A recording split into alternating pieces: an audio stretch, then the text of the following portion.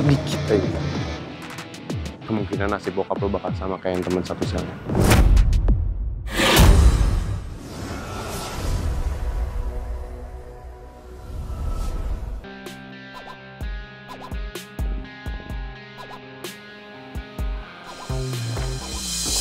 Ki. Lo jawab gue. Miss Mel, saya fine-fine aja kamu kerja di sini. Apalagi ini perusahaan didik kamu. Tapi saya nggak mau gara-gara ini kamu minta keistimewaan di sini. Ki, emang gue diistimewakan ya di sini? Gue aja di sini cuma jadi sekretaris lo. Kalau misalnya gue diistimewakan, jabatan gue pasti udah lebih tinggi daripada lo, Ki. Bukannya itu yang kamu mau. Dari awal kamu masuk ke kantor ini. Kamu sempat nggak terima kan? Waktu Om Reman ngasih kamu jabatan di bawah saya. Waktu itu kamu sempat protes kan? Miss Mel, saya itu mau kamu belajar dari bawah. Gak ada lift menuju kesuksesan. Jadi kamu harus ngelewatin tangga untuk menuju ke sana. Oke? Kamu mulai dari nol. Kamu nikmatin prosesnya. Nanti begitu kamu sukses, kamu pasti akan bangga sama diri kamu sendiri. Itu yang Om Reman ajarkan ke saya. Ya gue tahu, tapi emang harus banget ya dengan cara jutek kayak gitu. Ya kalau bisa ngomong sama gue baik-baik. Oke, saya minta maaf kalau cara saya salah. Tapi saya kepengen kamu sukses, Mel. Ya iya Ki ya. Mungkin emang dari pertama gue juga salah juga. Gimana kalau misalnya kita start from the beginning? Jadi ya anggap aja kalau misalnya gue tuh kayak karyawan baru aja masuk kantor sini. Ya anggap aja lah gue nggak ada hubungannya sama CEO siapa yang punya kantor ini. Maybe we can be a good partner. Gue masih nggak percaya Mel bisa sedewasa ini. Dia bener-bener udah berubah, bukan jadi anak papi lagi.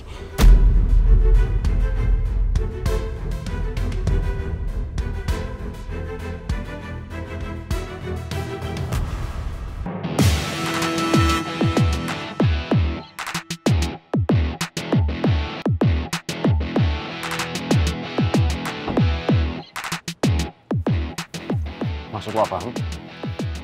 Lo ngancem bokap gue. Gue ingetin sama lo ya. Sampai lo berani minta bokap lo sedikit aja, gue bakal habisin lo habis-habisin.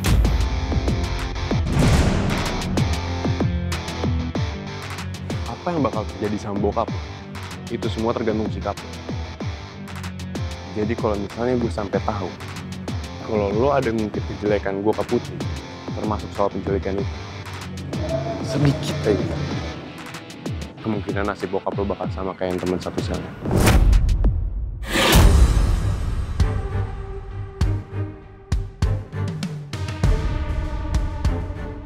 Kenapa? Lo takut? Kalau seandainya Putri sampai ngeliat betapa busuknya lo. Iya, Gue cinta sama Putri. Gue nggak mau sampai Putri mandang gue jelek gara-gara hasutan lo. Bullshit. Lo gak pernah cinta sama Putri. Lo cuma mau merusak hubungan Putri dan juga Ibu Nawang sama kayak Tante Lisa. Jadi gak usah sok peduli deh. Apalagi sok sayang sama dia. Awalnya emang gue cuma ngejalanin tugas untuk ngancurin Putri. Tapi gue nggak bisa bohongin hati gue. Kalau sekarang, gue bener-bener mencintai Putri.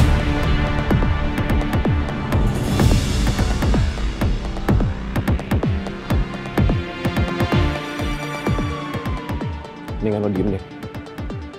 Lo pikir gue akan biarin Putri jatuh ke tangan orang kayak lo? Gak akan. Lo jaga omongan lo ya. Karena sampai kapan pun gue akan selalu melindungi Putri. Ngerti? Gue juga bisa ngelindungin Putri. Karena gue mencintai Putri. Dengan segenap hati gue. Jadi sebelum lo ngungkapin soal penculikan itu, lo pikirin dulu nasib bokap lo. Keselamatan bokap lo cuman ada di tangan lo.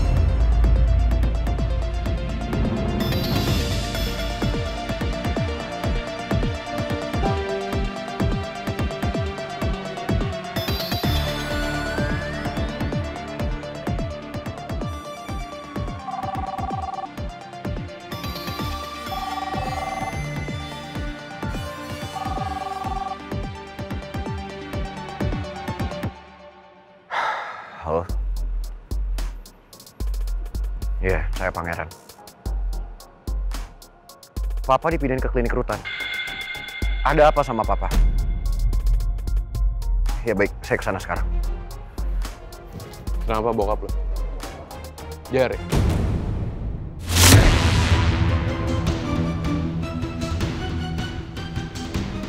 Gimana mungkin Arga bisa tahu kalau papa dirawat di klinik karena diare?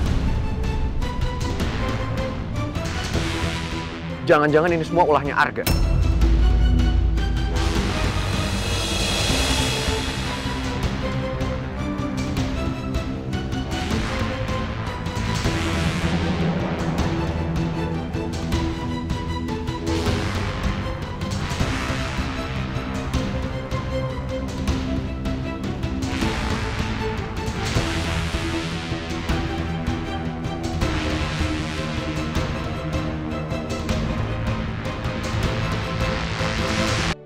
Gue juga bisa lindungin Putri. Karena gue mencintai Putri dengan segenap hati gue.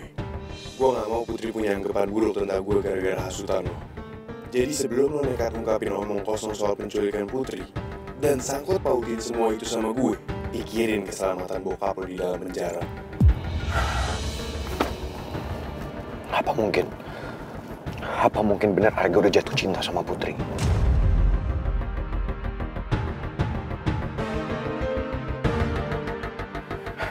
Saya harus lebih hati-hati. Saya harus lebih waspada. Apalagi Arga bilang, kalau sampai saya bongkar semua kebusukan dia, dia akan mengancam hidup Papa.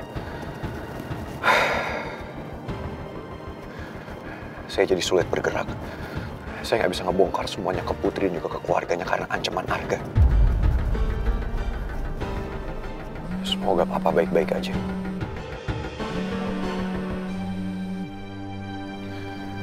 Halo, Tak. Gue sekarang lagi otw ke rutan. Gue mau lihat kondisi bokap. Karena pihak penjara bilang kalau bokap kena diare. Soal harga. Soal itu nanti kita bahas ya. Oke, Tak.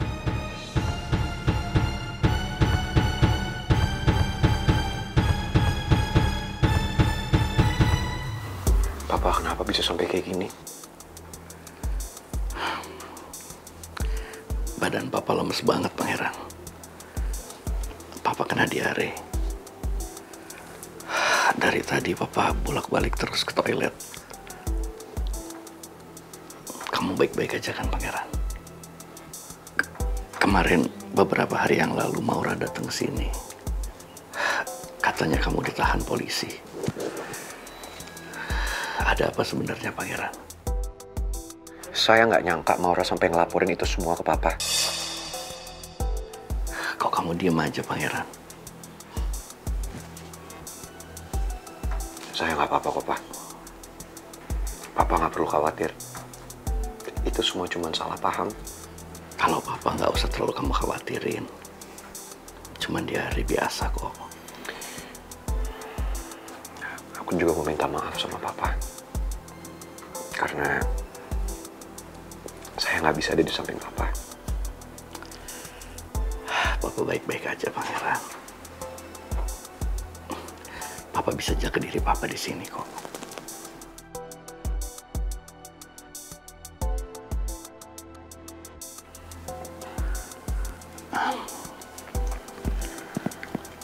Kamu kenapa, pangeran? Ah, Apa yang sedang kamu pikirin? Apa mungkin bener yang diomongin Maura ke papa? Emangnya Maura bilang apa sama Papa? Maura minta papa untuk nasehatin kamu supaya jauhin Putri untuk kebaikan kamu katanya. Dan Papa mau saya melakukan itu? Kalau untuk kebaikan kamu, papa rasa kamu lebih tahu apa yang terbaik untuk diri kamu, pangeran. Menurut papa, kamu ikuti aja kata hati kamu. Itu pasti yang terbaik untuk kamu. Maksudnya Papa? Kamu udah sebegitu banyak memperjuangkan cinta kamu sama Putri. Begitu banyak juga halangan yang udah kamu hadapi. Papa rasa kamu pantas untuk mempertahankan cinta kamu sama Putri itu.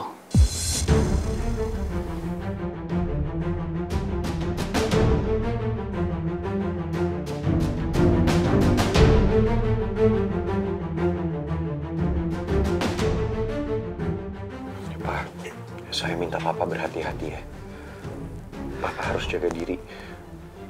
Saya nggak mau Papa kenapa-napa. Apalagi setelah kasus kematiannya Pak Fahmi. Papa harus lebih berhati-hati. Kamu nggak usah khawatir, Pangeran.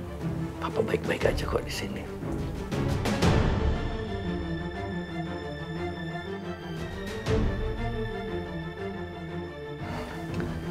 Permisi.